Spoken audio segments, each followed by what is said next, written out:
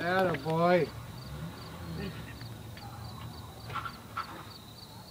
There you go.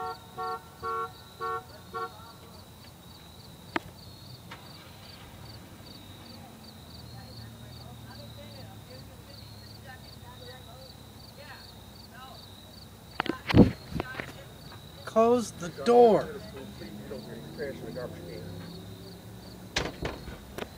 Yes, he's going to crash in the garbage out when the um, shack too.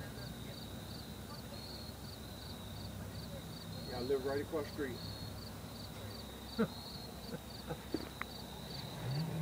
thank you. Please, we go. All right, thank you.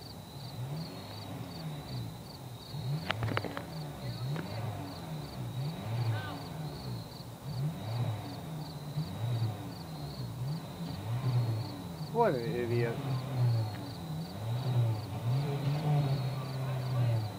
I think he might have uh, fried the transmission. Yeah, he fried that motherfucker good. Yeah. But I hate ignorant shit like that. Oh yeah. You know, I agree. You, you pull stupid shit like that and you get stuck and oh then that guy gets back in the car. What an idiot.